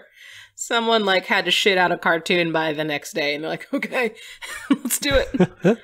so yeah, it's a huge swing, and you know Johnson's like depressed about how this all falls apart because kind of, I mean, his lying had just caught up to him. He'd been telling everybody what they wanted to hear, and now they were seeing that that wasn't true. You know, consequences. They're unfortunate. Yeah. So he gets on TV March 31st. He announces a unilateral halt to bombings of North Vietnam, which they had been doing and they had been like monstrous, quote, no, not targeting civilians, but actually frequently hitting civilians and stuff. Announces a halt to those bombings and then stuns everybody by saying that he was not going to run again for a second term. Really? LBJ was one term? Uh, he was, I mean, he was one term in his own right. He also got the rest of Kennedy's. Oh, term. yeah, yeah, yeah. That's right. That's but right. he would have been able to serve for another one. Oh, yeah. But he did not. He just, you know, said, I'm going to focus on the war. I'm not running. I won't accept wow. the nomination. I mean, that's, I feel like big from him because from what I know of him, he's like a very big oh, yeah. ego guy, yeah. you know? He was super power hungry. And he probably honestly thought that this gesture would like propel him into somehow being selected anyway. That's fair. Know? Yeah, yeah. Like, oh, I'll turn it down. Be right, all modest yeah, about it. It's a huge turning point. Again, the NLF and, and the North Vietnamese army, they do lose the Tet Offensive strictly militarily. But I mean, if you understand war as a bigger picture of, you know, as the old adage goes, politics by other means, I mean, it changed the minds of lots of people they fucked up their allies pretty good, and those allies are big allies. Yes, yeah. And there's also a lot of other things that were happening to change people's mind throughout the war, not just the Tet Offensive. There's tons of other atrocities going on. And yes, there are atrocities uh, on the communist side. That's true. Uh, you can hear about that from any sto- any book about John McCain and his heroism, or anybody mm-hmm. who was a POW and all the hell they had to go through. And we're not saying that wasn't bad, but we'll take a look here at some of the other atrocities that people don't talk about as much. You also got to look at it like the Americans also just have far more resources, far more options, you know, choices of do we want to really, you know, do these horrible things or not to still get what they want done. Yeah, because they had enough power to like just run people over, right. you know. All right. So in March of 1968, you have the My Lai massacre. Okay, sounds bad so far. Uh, yeah, this was March 16th. Uh, U.S. troops in South Vietnam end up killing more than 500 unarmed civilians, men, women, children, and infants. Whoa, okay. Yeah, we don't mean they dropped a bomb on them because, I mean, they did bomb and kill a lot of people that way indiscriminately. But we mean they, like, were up close and personal killed. They tortured people too beforehand and uh, they even stopped to have lunch during the middle of the rampage. Wow. Uh, 26 soldiers ended up charged with crimes, uh, but only one platoon leader, this asshole lieutenant named William Calley, ends up convicted of anything. He gets a life sentence, but ends up only serving three and a half years under house arrest. Okay, so nothing. Yeah. Great. That's all he got. Uh, that was the My Lai massacre. Obviously, people hearing about that. I think they heard about that when the trial and stuff started happening. A lot of people were disgusted by that, but a lot of people also defended William Calley. Okay, why? They said he was just a soldier doing his job. Just following orders? I mean, a lot of them didn't care so much. I mean, it was like, I mean, he only killed some Vietnamese people, is what they were saying. You know? Jesus. I mean, I'm sure people even said he was a hero or something weird. Like I'm that. sure. I'm sure. In throughout the course of the war, there's also the use of Agent Orange. Okay, yeah, I've heard of this. This is like some crazy chemical, right? Yeah, yeah, it's a chemical defoliant and herbicide. Okay, so there's exfoliant, but defoliant? It just takes your skin off? I think it's meant to take out like the like the trees and stuff. Oh, okay. Foliage, not like skin. Yeah. Got it. Although it can do that too.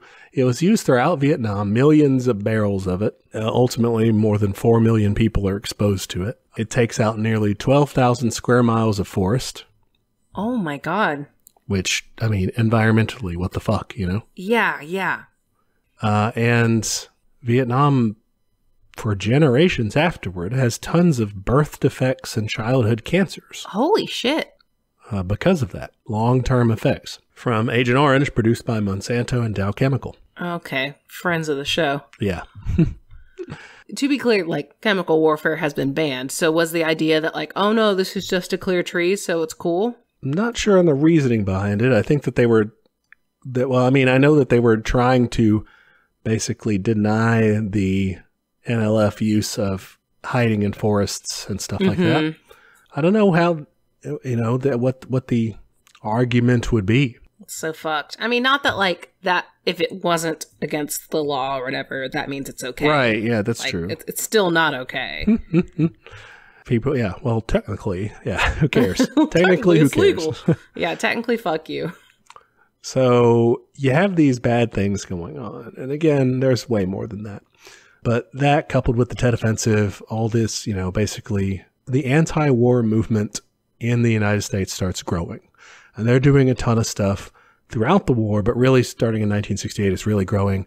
They're resisting via dodging the draft uh, or deserting the army or doing big protests, even doing direct actions like burning down ROTC buildings and stuff like Oh that. shit. Okay. And I think this is kind of important because North Vietnam, like the political leadership there, including Ho Chi Minh and then his his successor, because he actually dies in 1969, Oh, okay. They realize that you know this war, they are fighting it on the battlefield, but ultimately, if they can just get the Americans to go, then they're, They're going good. to win. Yeah, so like they just need to convince, you know, basically convince the American people that it's not worth it, that it's not right, that they need to end the war. The Tet Offensive, I think, like we said, really turned people in greater numbers against the war, and that trend continues to accelerate as these atrocities roll in and people find out more about it. And then going into the Nixon presidency, he is actually elected initially saying he's got a secret plan to, to win the war. What's the secret plan? Well, what he ends up doing is similar to what Lyndon Johnson was doing in just saying one thing and doing another. So he's he's got this program called Vietnamization where he's going to wind down America's involvement in terms of troops and put that more and more on the shoulders of the South Vietnamese, arm them, train them, all that. Now, where have I heard this one before? right, this one's very familiar.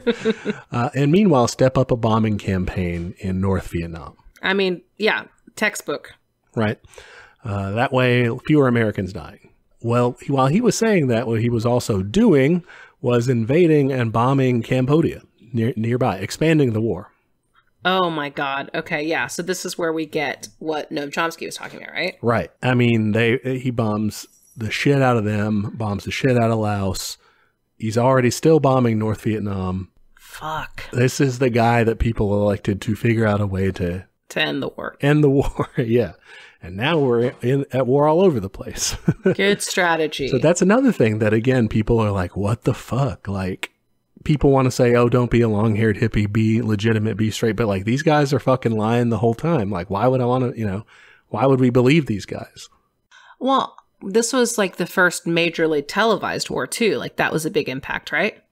Yes, and a televised in the way that like it was fairly unrestricted compared to I mean you did have newsreels and stuff in World War II, but that was completely run through the war office. Like Yeah, it's just propaganda. Right. Yeah. Whereas here, it's it's way more, mm, way way grittier. What you see.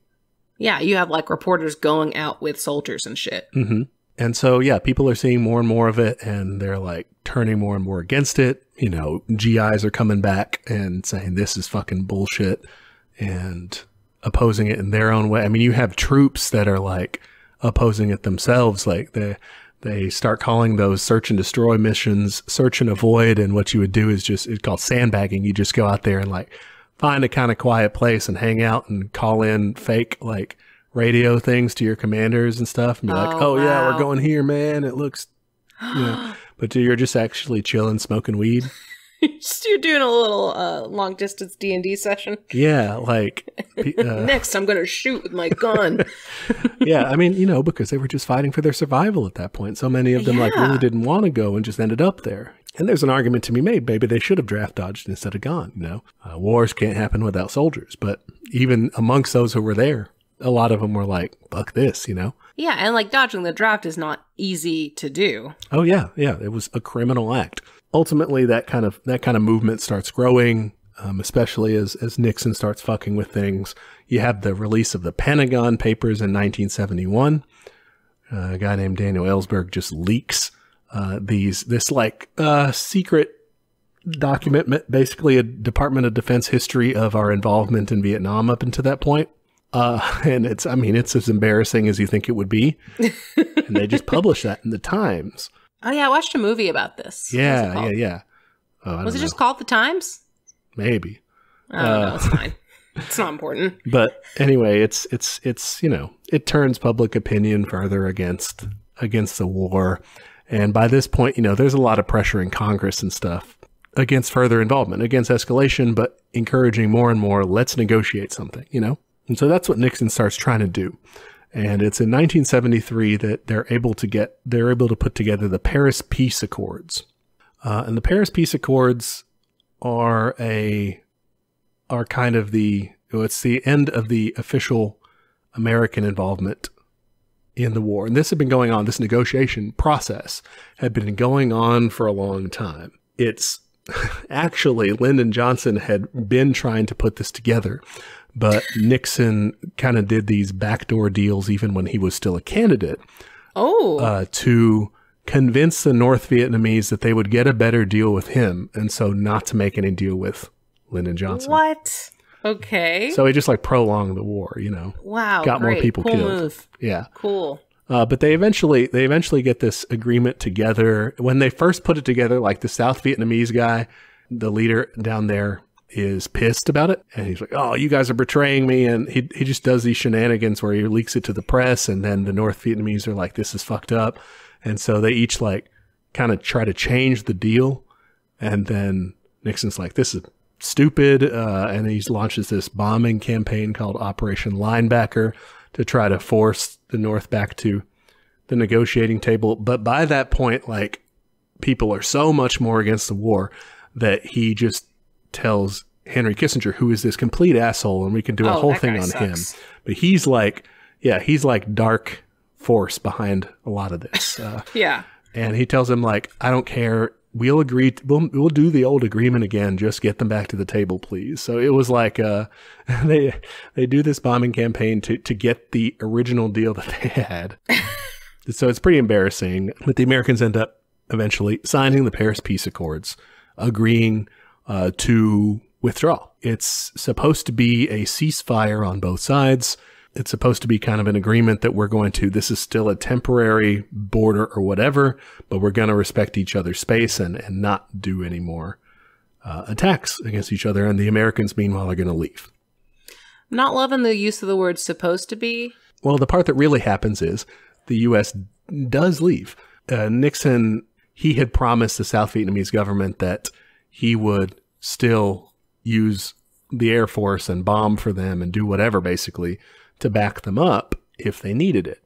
Uh, but in Congress, they ended up passing a, an amendment, uh, the Case Church Amendment, to kind of limit the president's ability to do these secret bombing campaigns and shit like he was doing in Cambodia and Oh Laos. Shit. Okay. And so it just like limit it was just like no, we can't do anymore in Vietnam, in Laos, in Cambodia unless the president gets congressional approval in advance. And meanwhile, Nixon is just being driven out of office by Watergate. Yeah, it doesn't have a big leg to stand on here. Yeah, so he's promised South Vietnamese, like, hey, don't worry about it, I'll prop you up. But really, he Make a can't deal with me. Yeah. so the U.S. troops start to pull out. I mean, and they do. They, I mean, they're they're, they're largely gone in '73. Uh, but meanwhile, the supposed to be part is that both the South Vietnamese and the NLF and North Vietnamese Army all start to break the ceasefire. Both sides. Oh, fuck. They just start fighting again. Um, and the big change, though, is that the Americans are mostly gone. Uh, by this point, from 73 to 75, the North Vietnamese army is still kind of on its back heels, but it's rebuilding. Ever since the Tet Offensive, they started rebuilding and amping up the Ho Chi Minh Trail. And so they're putting together logistics basically for in the future, we're going to do a big offensive, right? When the Americans pull out, they're like, all right, we're coming close to, we're going to start planning our big offensive. And in 1975, they're like, we're going to do a, a test run. We're going to like attack this one place and kind of see if it provokes the Americans. Hopefully they don't come back. If they do, we'll just withdraw. It's not a big commitment.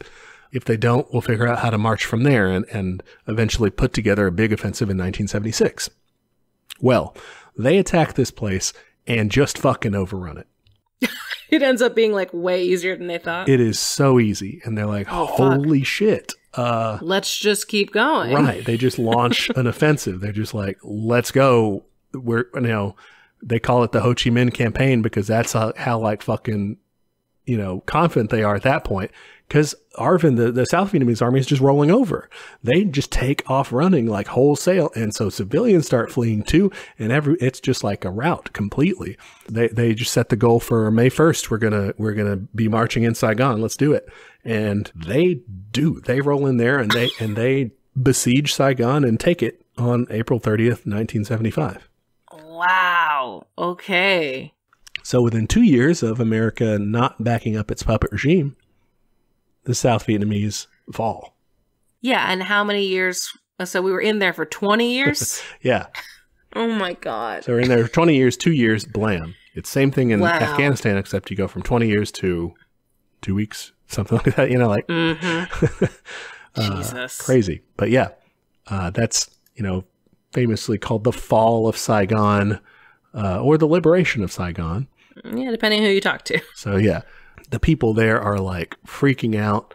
They're worried there's going to be like mass executions and stuff, and not for no reason. Like we said, there were atrocities, including the massacre at Hue, where the communists like briefly took, you know, did besiege and take that city, and then started like rooting people out who they said had been collaborating with the South Vietnamese, but there were probably like excesses beyond that, you know. Yeah. Oh, that sucks. So people got executed. And so later they were like, oh no, they're going to do that, you know. So people were like frantically fleeing. Meanwhile, like the American ambassador just refused to think that this was really going to happen. And so he was just like, no, we're not leaving until it was like way too late. And barely anybody, you know, they evacuated mostly just the Americans and left behind so many of people who had worked with them and stuff like that. oh, fuck. That sucks. The NLF and the North Vietnamese army uh, captured Saigon, and that was the end of the Vietnam War or the resistance war against America. Wow. Yeah. Interesting. Okay. Sorry, I feel like I'm I'm trying to preempt all the the reviews we're going to get about us being biased. I mean, how we're, how bad did the communists do? I mean, we talked about that one massacre. That's pretty fucking bad. Yeah, lots of people died in that. Um, and I mean, there, you know, there were reprisals. If you were like, you know, a real asshole who they had opposed, you faced punishment. And even after this is done and they, you know, take over the place or whatever, there aren't mass executions. So that's one thing that they were uh, concerned about is we didn't want to basically piss everybody off and show everybody that we're evil. Uh, so there were not like big, huge reprisal, you know, bloodletting in the streets sort of thing. Um, they did send a lot of people off to uh, what they would call like re-education camps, Oof, which for a lot of people were ac- was fairly brief. Um, it, did- it did kind of depend on like how long, how high up you were or whatever. Uh, but for a lot of people who were higher up, it was pretty bad. I mean, you, you faced yeah. like okay. concentration camp level of depravity. I mean, it was not good. One thing that I'm struck by whenever I'm reading the history of this is frequently when you see shit like the Hue massacre or any of the bad things, later on they'll have a party conference where they like admit to the excesses, like the land reform thing and stuff. They're like, Yeah, yeah, Oh. that's kind of interesting. I mean, they're doing self criticism, but like actually doing it, it seems like. Yeah, as opposed to us, where like you have to break into a fucking government building and stuff to to get the information of what's going on. Right. Yeah. Yeah.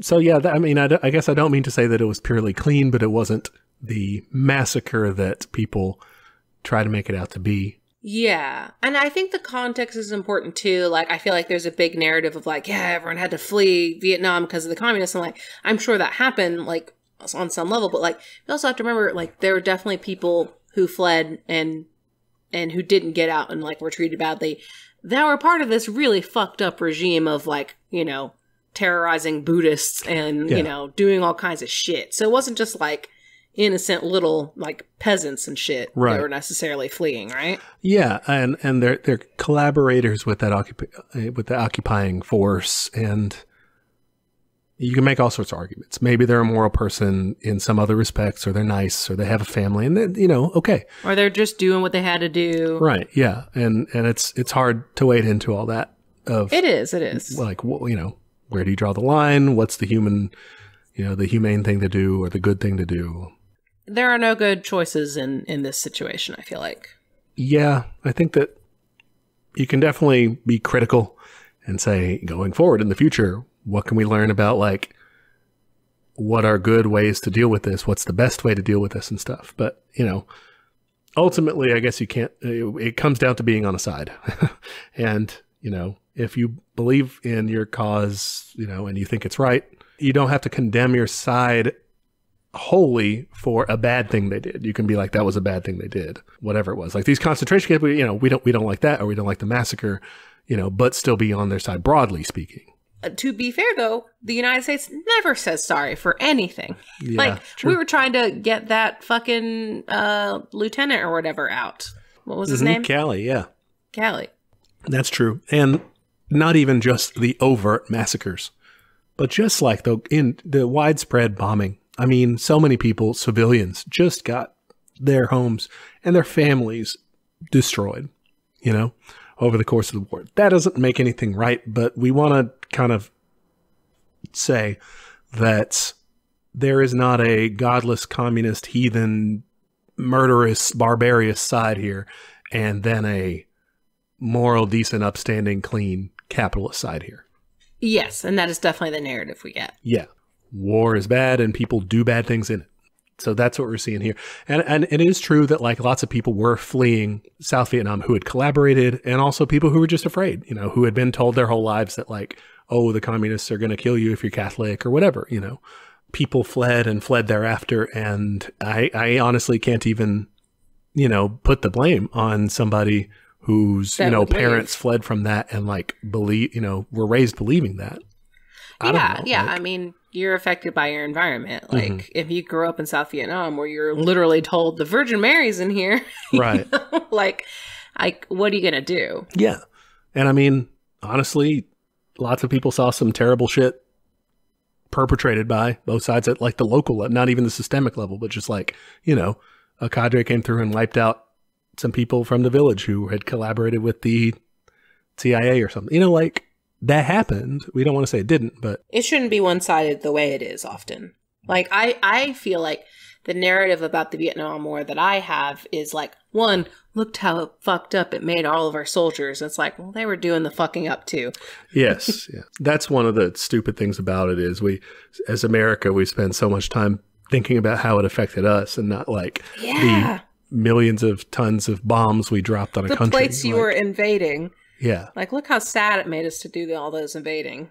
that still generations later, like are physically fucked up from it. You know, Okay, so there's that narrative, and then I, I, when we're talking about the atrocity section, like I definitely have heard those horror stories about like, oh, they like grow bamboo through your fingers or whatever, you know, like Mm, all the yeah. prisoner of war stories, like like we were Mhm. talking about, like John McCain and shit. Which to me, I don't know if this is just like maybe I'm reading too much into it, but to me, sound very like kind of racialized. Of like, look at these savages, you know.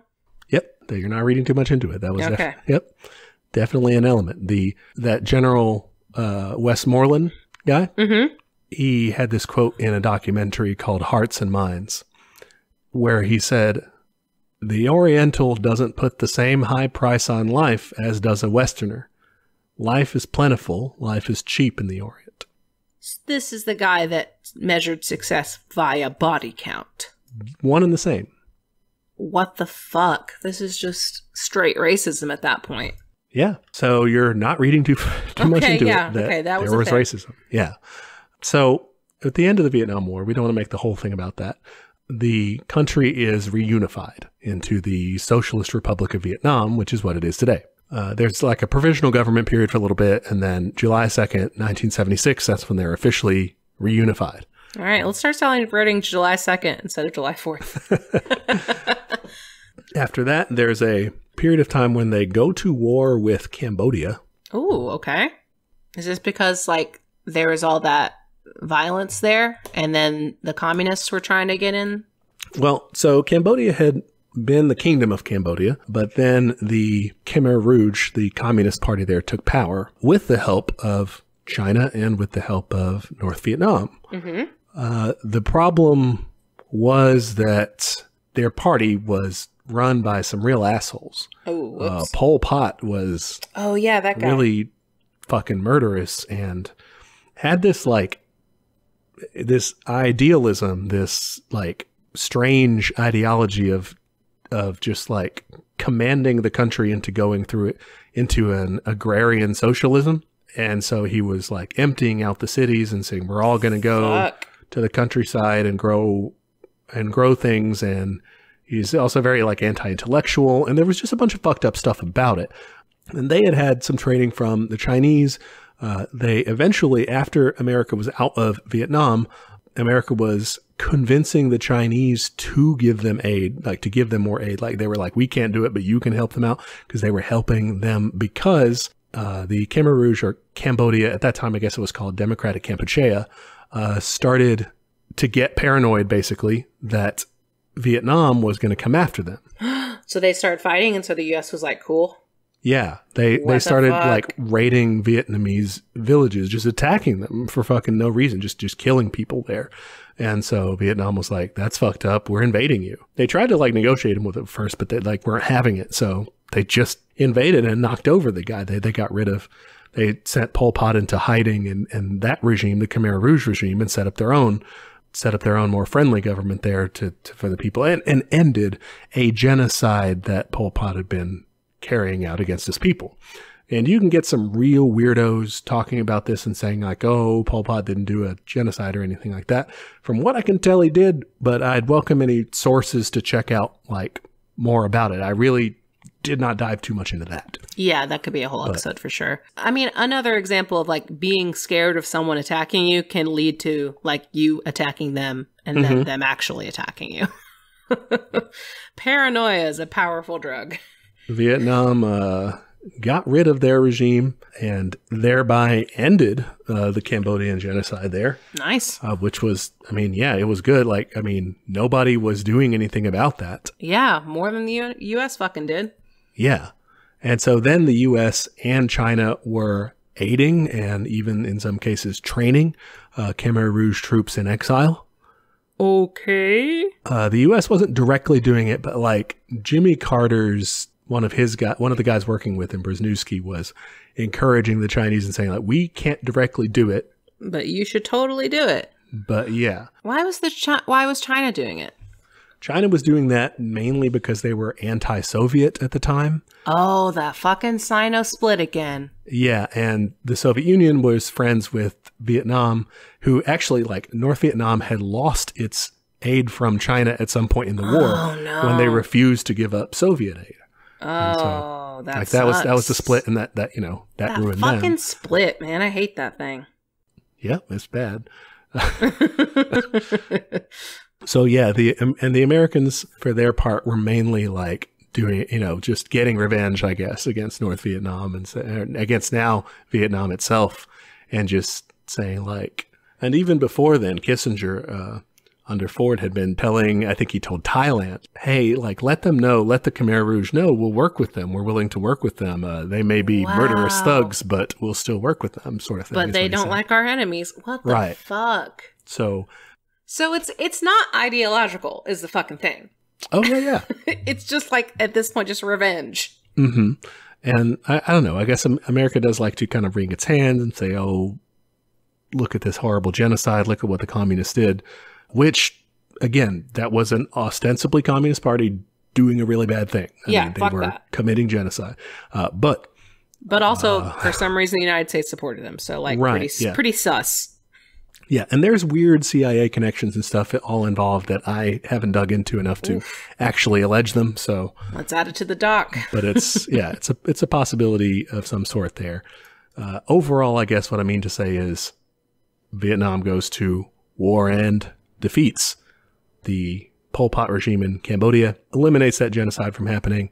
That's kind of in their foreign policy. They're still kind of arguing with China, you know, at that time. And at that point, they're struggling to rebuild from the ashes. Uh, they just got their country bombed to fucking hell all over the place, you know, and, and they finally put it back together just geographically.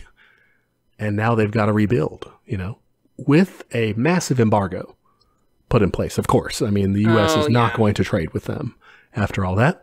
So they've got, you know, the capitalist world against them. China not even playing ball. Ugh. So they've got like the Soviet Union And that's about and it. that's it. Yeah, the Eastern Bloc countries. And uh, so yeah, it's a, it's a rough place. They are try they are trying initially to just do socialism, all right, just to have a non-market economy, you know, to have a planned economy and doing I mean doing it in 5-year plans and everything. That's what they were trying to do. This is really hard for them. And it's slow going. This is, you know, so they're reunited in 1976 and they really muddle through for 10 years Oof, okay. not good. Uh, and especially with the war on Cambodia, they have wartime conditions again, basically, in terms of the economy. They're struggling 100%. A lot of starving, I'm assuming. There's shortages, and it's not, I mean, people's life expectancy and like uh, income per capita, all those like living standards things drop. And it's in 1986 that the party meets and says, this is not working. We've got to change something. We've got to do something different. The material conditions that we are facing don't match up with what we're trying to do. Is ultimately what it comes down to. They're not coming there and they're saying, "Oh, communism is you know we guess we're not doing that anymore." Yeah. yeah Throw it in the trash. they're I guess good Marxist Leninists in that way, you know, and, in looking at the problem and saying, okay, we've got to try to fix this. Let's see what the facts are. How can we pursue socialism given the situation we're in? Okay. What do they do? All right. So they passed some reforms called Doi Moi. Okay. All right. And this is uh, economic reforms in a similar vein to what China does under Deng Xiaoping, which is kind of liberalizing their economy a little bit. All right. Interesting. We kind of talked about this way back when we were talking about China's development and whether it was socialist and things like that. And so it's interesting because this is this is similar in in terms of what they face. They they face the world arrayed against them, and they're Rebuilding from nothing. they're rebuilding from nothing. They don't have the capabilities of basically running socialism through their government. And so they say, we're going to instead go for a socialist oriented market economy. I think that makes sense. So, like, I'm reading Conquest of Bread right now, and a lot of it is talking about things from like an industrialized perspective of like, hey, we have the ability to produce all this shit. So, like, mm-hmm. let's do this. Like, Yes. let's move forward and provide for people. But if you don't have the ability to provide for people, like, you can't provide for people. Like, I, don't know how to say it.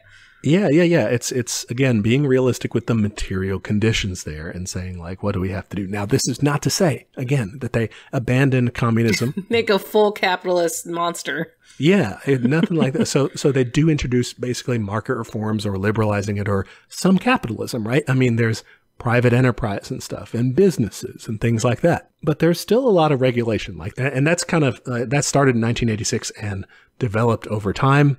They gradually even had to kind of liberalize more than that uh, because they were trying to get aid from the our friends of the show, uh, the IMF, the International Monetary Fund. Uh, which made certain demands, but uh, and and they weren't good demands. I mean, it was like you know limits on what you could do. Basically, at that point, though, they were like kind of out of friends because in 1986, shortly thereafter, you had the collapse of the Soviet Union, your main trading partner. So it's in that sense, it's really bad. You know, it's it's fuck. We're going to get opened up by the World Bank, the IMF, and all the capitalist assholes.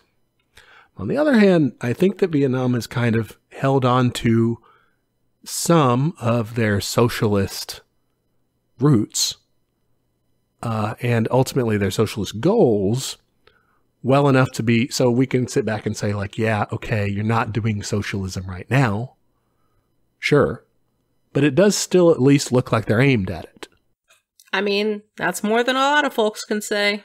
yeah and you know I, I definitely don't agree with everything that china does for example but i think it is possible that maybe they're doing the same thing because to me these look similar That's what I was going to say. yeah, they're like reassessing where are we, and it's a similar time period too for them. Where are we? What do we need to, you know, do we need to change things? You know, they are very, very businessy in both of these countries. You know, there's a lot of capitalism going on. I do think that the state's pretty robust and is at least declaring and showing some uh, showing some leanings toward trying to do socialist things. Yeah, I think that's when you get into the question though of like is that possible to like slowly transition, you know? Yeah. And it's a good question. I think that it is different from like social democracy, right? It- because essentially here, the government is still, and in Vietnam and everything, the government still maintains like the commanding heights of the economy, as Lenin would say. It's like the majority of, there are state owned enterprises. There are, uh, you know, areas that the government just has nationalized and stuff. And the government is still, you know, it's it's a one party state. I mean, the government is still in charge, and there's no capitalist party that's trying to just straight do cap. You know, like they're Yeah, yeah, it's a different situation. it's different from voting in socialism, right? Or electing Bernie Sanders to make some changes or something. Like, I think it is different from that. Now, you're still right. Will that actually work long term? Because we don't know. We can't tell whether in China or in Vietnam or in any other places trying to do this, whether they're actually going to ever make that turn or whether they're instead going to, as they would say in like Mao times, like take the capitalist road and instead, you know, corrupt over to back to capitalism. So would you say, for example, because we're talking about, I guess, current nations in Mm-hmm. socialist zones, where would Cuba fall into this? Cuba would be counted as an as what the communists call the actually existing socialist states. So, Okay, so they're doing socialism.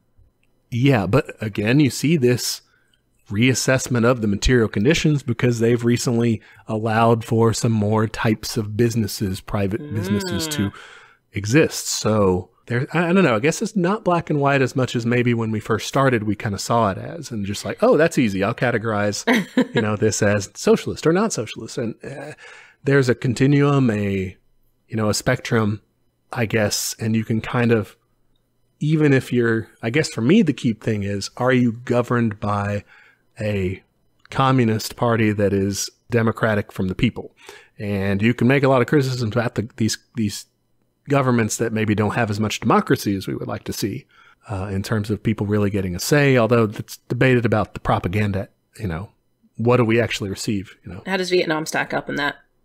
uh, I mean, they have a one party state. You know, they have they have the Communist Party of Vietnam, and it's But I mean, is it democratic? It faces the same criticisms, I guess, is that it's it's not seen to be democratic. It's it has uh, the criticism that you can say, you know, okay, they do run a one party state. Uh, well, remember when we talked about the Soviet Union thing of like if you don't get a majority, sort of, like that's the only way you can really reject people.